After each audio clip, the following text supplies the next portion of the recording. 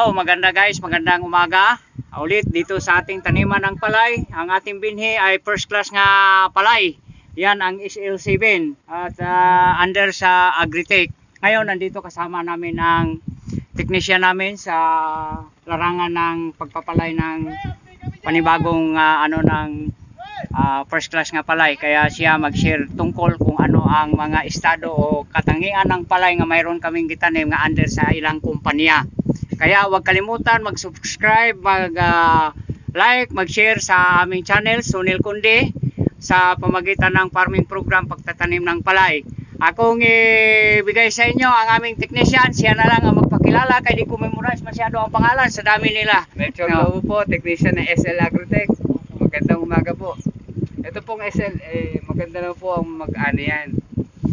Ah, basta bibigyan po siya ng magandang pataba.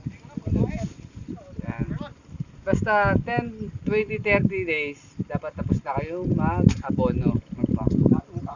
At, ano ba? Natin po ay nagpapatanim si Ma'am Sonia Conte para malapit na po siyang matapos. Magpatanim. After lunch. After lunch, tapos na po siya magpatanim.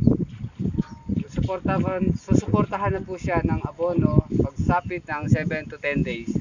Yan. Pwede Ah, pong patanggal ng mask. Para makita naman kayo. Yan ay ang pogi. Oh. Yan ang pogi ng technician ng SL. Dito po siya naka-assign sa amin. Ayan. Okay na. Ayan po. Tsaka yung asawa ko po. Ayan, yan po ang namamahala. Pero syempre, ako po ang naka-contract. Pangalan ko po naka-contract doon sa SL. Ayan. Pero nangangasiwa po ng aming palayan.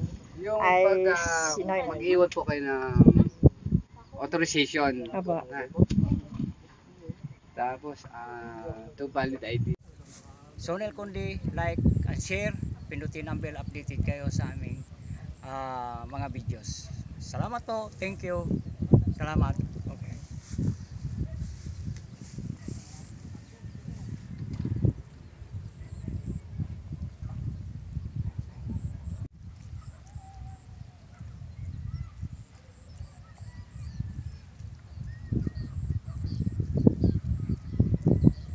Hello po mga lalabs, good morning sa inyo lahat, good morning, good afternoon, and good evening.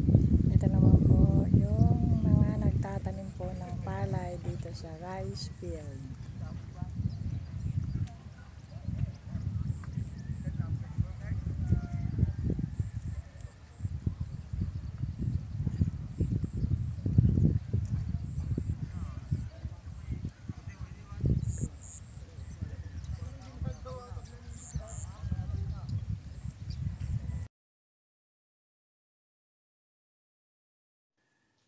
Thank you so much and God bless you all. Keep safe and healthy everyone.